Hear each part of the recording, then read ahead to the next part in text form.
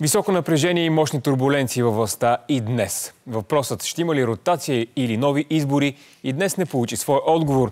Тонът между партньорите в сглобката се изостри, стигна се и до обидни реплики между Делян Певски и Христо Иванов. Напрежение между партиите внеси темата коя компания да строи новите реактори в АЕЦ Козлодуй. Всичко от репортерите на BTV от Народното събрание и Министерски съвет. Първо за напрежението между лидерите и Десислава Ризова. Добър вечер!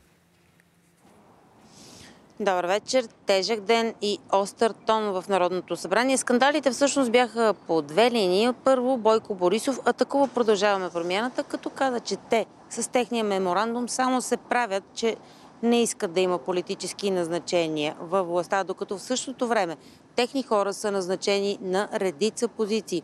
Последва и втория сюжетна линия на скандали Делян Певски и Христо Иванов. Този сблъсък носеше и доста обиден характер. Певски обяви, че, цитирам, Иванов лъже, седял е в скута му и е пил мазно турско кафе. А Христо Иванов веднага отговори. Тази професия с компроматите е по-древна от политическата.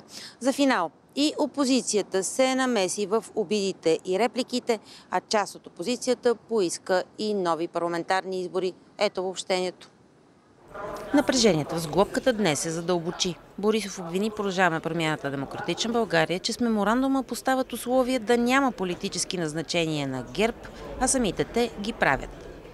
Точно ми е като попската работа, където един поп казал няма да гледате какво прави, а ще слушате какво говоря. На никой не му трябват избори. Това е ясно. Едно време беше всичко зависеше от Бойко. Ама не, не зависи всичко от Бойко. Зависи точно от тези регулатори. Аделян Певски втвърди тона към Продължаваме промяната и Демократична България, но най-вече към Христо Иванов, който според него искал да овладее съдебната система чрез конкретни назначения.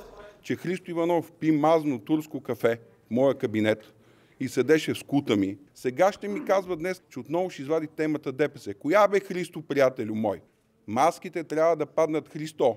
Искам да го знаеш, приятелю мой. Всичко свърши. Ние сме древна професия, но професията, от която се вадат такъв тип компромати и се превръщаш сам себе си в компромат и контактите с себе си в компромат, е по-древна от нашата. Последва втори рунд. Проблема е, че а, ДПС а, искат да бъдат скрит а, партньор на ГЕРБ в, а, в това разпределение и че не искат да има а, ясни правила. Христо Иванов да спре да лъже. Срамно да дойде тук, готов съм пред вас, да ме погледне в очите и да ми каже, че не е водил тези разговори. Янко, очна ставка съм готов тук веднага. Опозицията също подхвана темата. Как се нарича мъж, който седне в скута на друг мъж?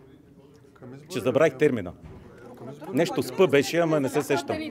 Христо Иванов седял в скута на Певски, договаряли главен прокурор. Всъщност много ми е интересно Бойко Борисов къде е седял. Ако скута на Певски е бил заед от Христо Иванов. А междувременно на кадри от пленарната зала се вижда, че Певски и Йордан Цонев влизат в остър словесен сблъсък с Кирил Петков, Атанас Атанасов и Даниел Лорер. Не стана ясно обаче по кой въпрос. И така, след всичко това преговорите между партньорите във властта изглеждат все по-трудни. Въпреки това днес се чуха призиви от различни страни за успокояване на страстите и сядане на масата на преговорите. Дали двете формации в властта ще успеят да излъчат преговорни екипи, предстои да разберем следващите 13 дни, колкото остават до ротацията на 6 март. Благодаря Десислава Ризова съобщение на напрежението и обвиненията между партиите в управлението. А как